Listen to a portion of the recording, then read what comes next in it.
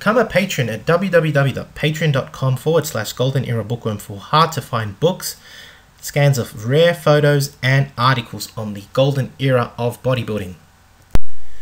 Hi everybody, Golden Era Bookworm here. Today we are going to look at a variety of barbell curls that were used in the silver era for developing the biceps. This video is inspired by an article I recently read written by Abe Goldberg, pictured here performing the swinging curl. Now Abe Goldberg possessed phenomenal ribcage development which I featured in a previous video, but also had excellent arm development and he had overall a real Herculean physique about himself. Now, due to the lack of equipment during the Silver Era, the Silver Era bodybuilders experimented with a variety of grips, positions, and styles of curling to develop their biceps up to about 18 inches in size, and naturally too. So let's explore some of their unusual ways and techniques of barbell curling as uh, practiced in the silver era of bodybuilding. Now, whenever talks about the biceps, um, there is a universal appeal to the biceps muscle. It is easily one of the most admired body parts, and whether you are a beginner or an advanced trainee, when you judge someone else's physique and you go to a lifter, you know, do you lift or whatever, one of the first things any lifter does is flex their arm. I mean, check out here that the girls are just drooling over Steve Reeves, lucky bastard, as, as he flexes his, his wonderful physique and they're just wanting to probe and touch him, right? And so it, any lifter will just flex that arm when they want to get some uh, ego satisfaction, basically.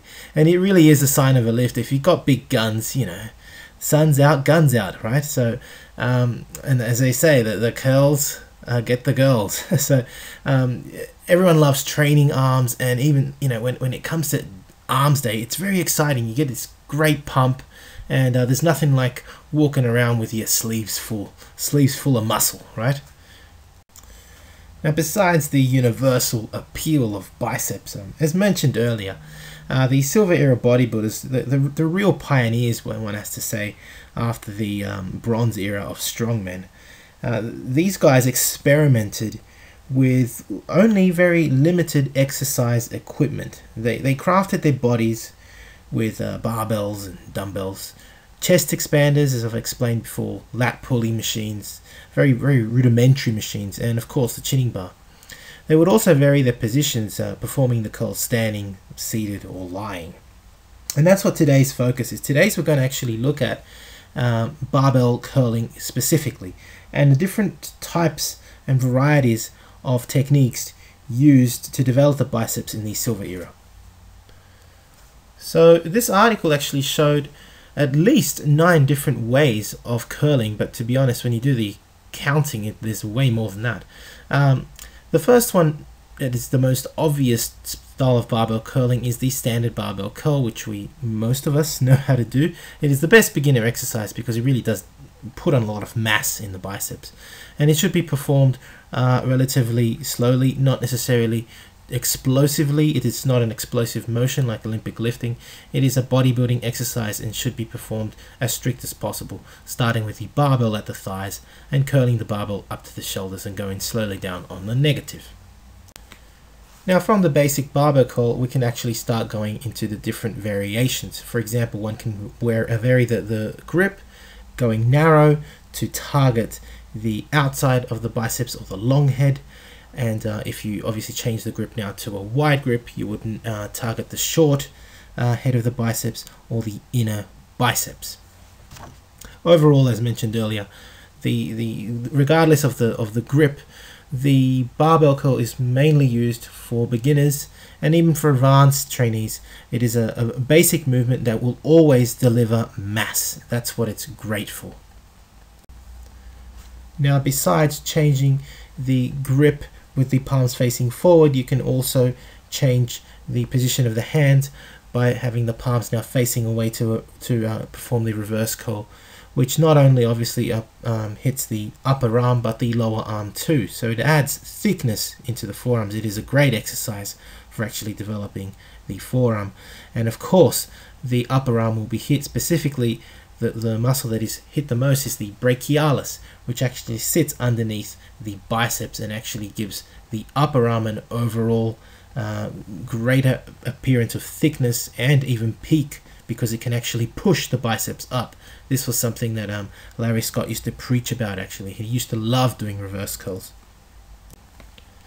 Now one cannot talk about the silver era without talking about Olympic style lifting and the repetition clean, believe it or not, as put in the article by Abe Goldberg, is actually, one could say, an advanced form of reverse curling.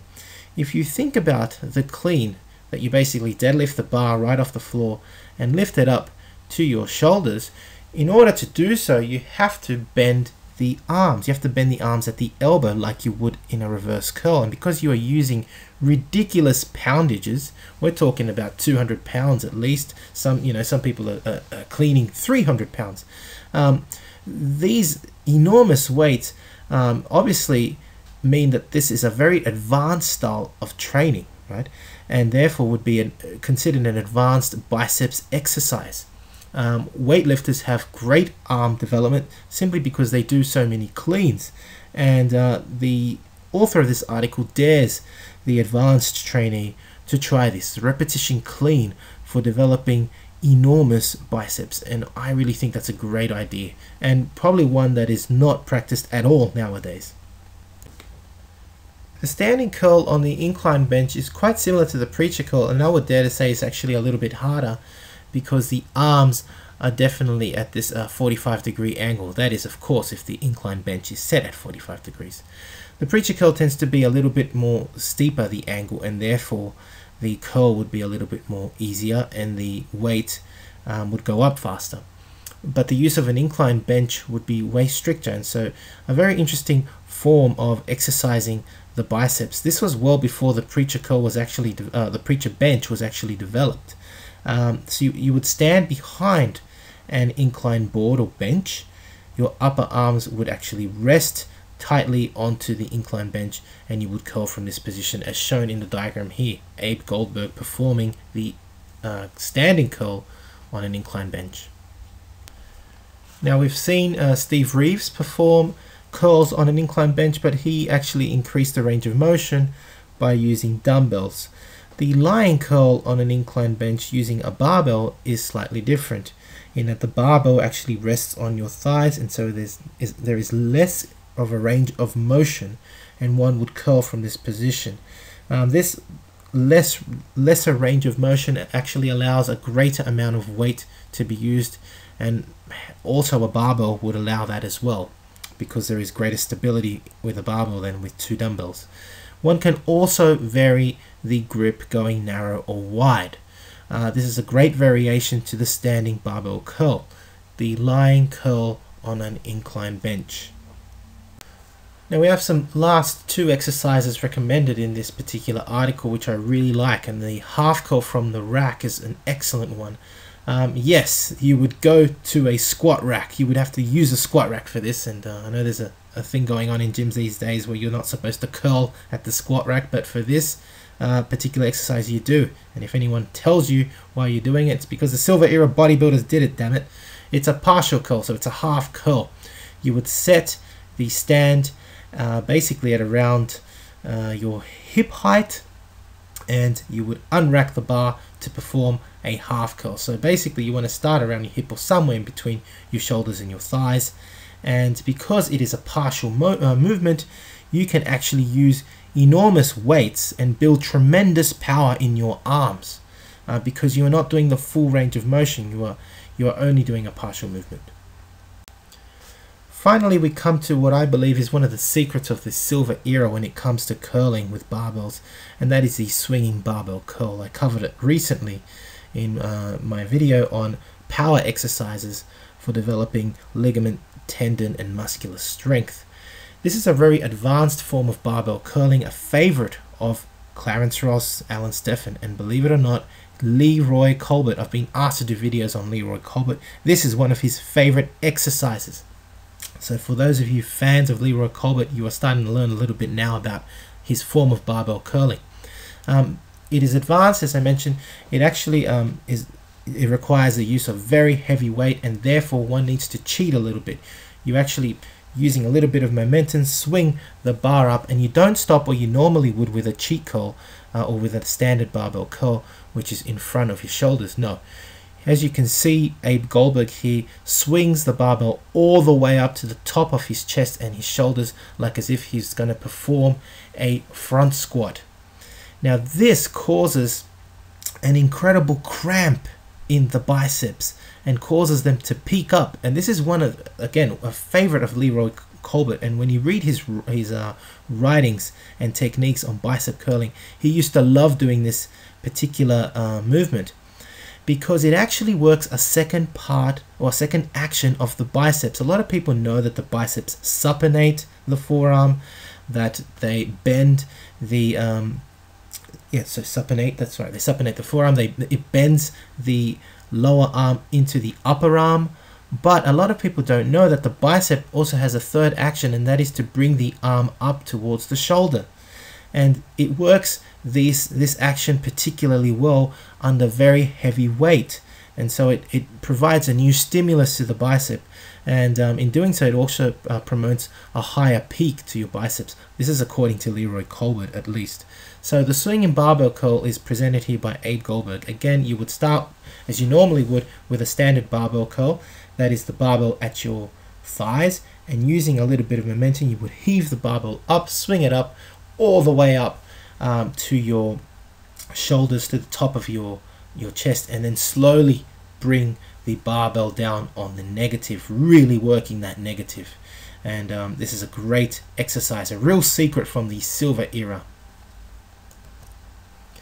So I hope you've enjoyed this video on the different variety of barbell curls that was practiced in the silver era. Here we have Abe Goldberg, as mentioned earlier, who had phenomenal ribcage development and a phenomenal chest, but also sported some pretty amazing biceps as shown here.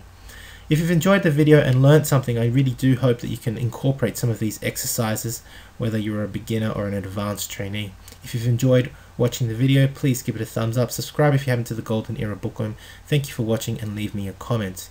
If you'd like to support my work, please donate via PayPal or become a patron at www.patreon.com forward slash Golden Era Bookworm. We have an online library of photos, articles, and books on the silver, golden, and bronze era of bodybuilding. Uh, if you'd like to purchase some of the courses that I've scanned and uploaded online, please visit Golden Era Bookworm www.wixsite.com forward slash website. This is the Golden Era Bookworm. Bye for now.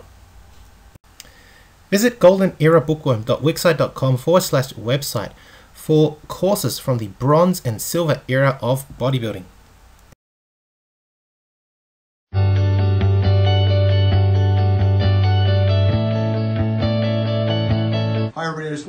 Recommend this phenomenal book, Vince's Secret Locker volume number two by Carl Coyne. I've been looking at this for about four weeks and I can't put it down. If you get a chance, check it out. He also has a part one that I, I highly recommend also. Uh, Vince was the trainer of the stars and had an amazing, interesting gym that today there's still not equipment like uh, like it around. It was all made out of wood. Uh, he'll be on our radio show coming up probably in the next couple weeks or so. Have a great day, and again, highly recommend this book.